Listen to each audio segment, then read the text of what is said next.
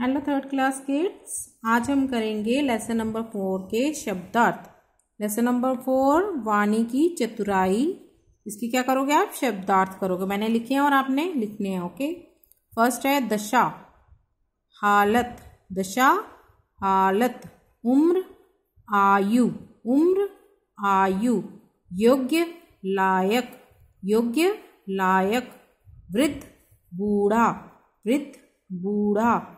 विचित्र अनोखी विचित्र अनोखी, व्याप्त फैलना व्याप्त फैलना, परेशान, दुखी परेशान, दुखी, विचार विमर्श, सलाह करना, विचार विमर्श, सलाह करना, व्याकुल बेचैन व्याकुल बेचैन चिंतामगन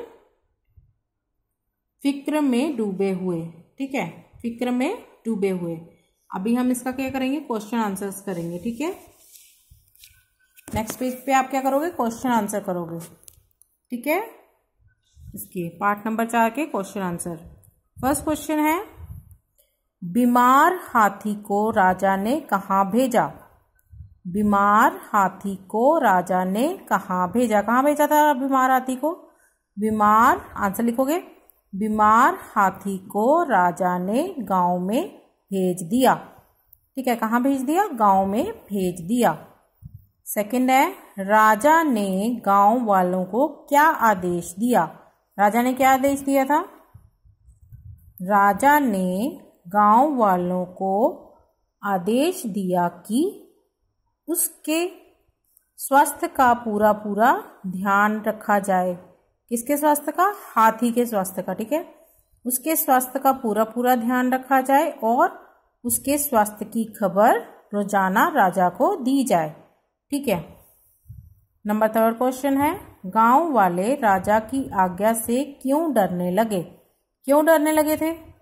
गाँव वाले राजा की आज्ञा से इसलिए डरने लगे क्योंकि राजा ने आज्ञा दी थी कि, क्या आज्ञा दी थी? जो भी कोई उस हाथी के मरने का समाचार राजा को देगा तो उसे उसी समय मृत्यु दंड दिया जाएगा। ठीक है? इसलिए डरने लगे थे गाँव वाले। ओके? नेक्स्ट पेज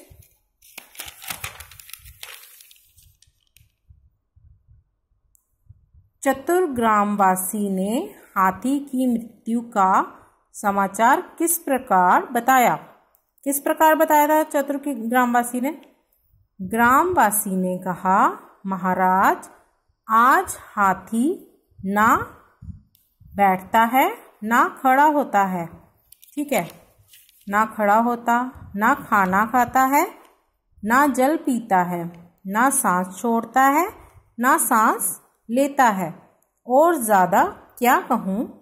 वह एक जीवित प्राणी की तरह आचरण नहीं कर रहा है। ठीक है।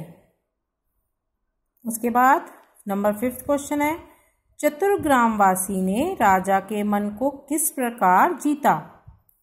ठीक है, आंसर आएगा चतुर ग्रामवासी ने उसके बोलने की सरलता और चतुराई से राजा का मन जीता। ठीक है, यहाँ तक। ठीक है ये आपके क्वेश्चन आंसर और शब्दार्थ हो गए। Okay thank you